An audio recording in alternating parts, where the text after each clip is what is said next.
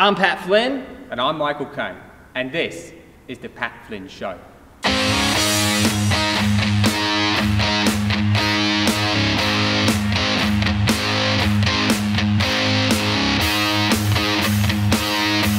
Hello, I'm Michael Caine, world famous actor.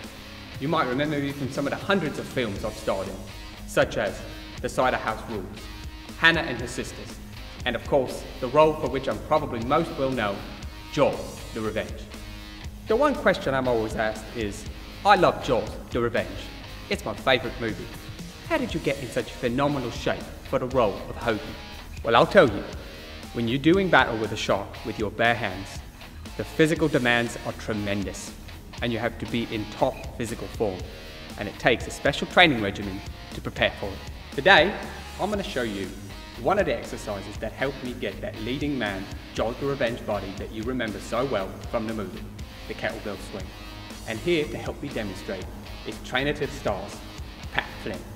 Now the first thing you're going to do is you're going to learn how to move properly through the hips. You're going to do this by putting a light weight against your chest or against your belly and pressing your hips backward.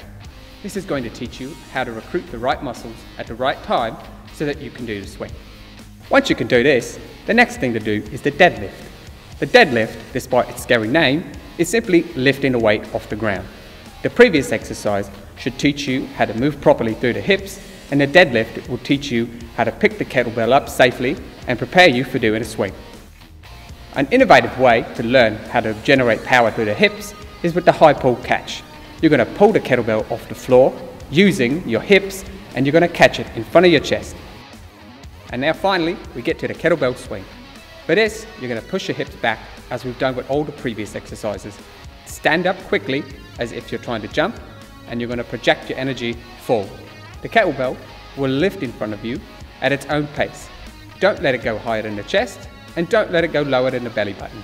Now before we get started, let's take a look at a couple of things that I know you're doing wrong with the kettlebell swing. The kettlebell swing is not a shoulder exercise, so don't do front raises. You're using your hips, not your arms. And I don't want to see you bending your low back. The kettlebell swing is not a squat, it is a hip hinge. So don't drop your butt to the ground. And for God's sake, don't put the kettlebell over your head unless you're doing a snatch. This isn't CrossFit. Remember, the kettlebell swing is a lot like a giant shark. If it doesn't keep moving forward, it dies. So, don't let your kettlebell swing die. Keep practicing and be persistent. So, keep at it. And maybe, just maybe, one day, you too can be a leading Hollywood actor doing battle with a giant shark. Strong on!